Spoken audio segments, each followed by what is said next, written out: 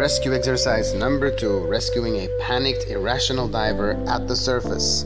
The first step is to approach and evaluate the diver, asking them to drop their weights and inflate their BCD. Most likely, they will not be responsive, so we put our regulator in and approach the diver.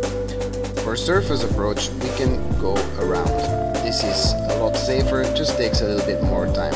Once we go around, try to get a hold of the tank valve and cradle the tank so we can establish positive buoyancy and the panic diver hopefully turns into a tired diver.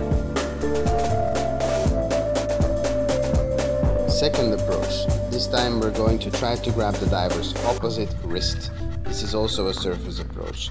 Again, evaluate the diver's state of mind, ask them to establish buoyancy and put in your regulator. Make sure to grab the diver's opposite wrist as this is a performance requirement, spin them around, cradle the tank and establish buoyancy for the diver and yourself.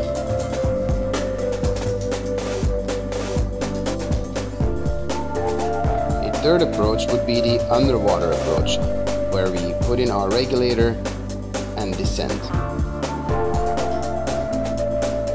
Once underwater, we're carefully going to evaluate the diver see if we can locate the weight system and the LPI.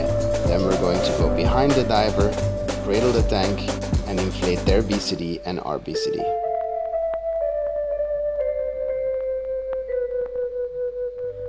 Another performance requirement is to use releases to regain control. We assume the panic diver has already grabbed us, so we inflate their BCD, inflate our BCD, and push the diver up and away to release ourselves.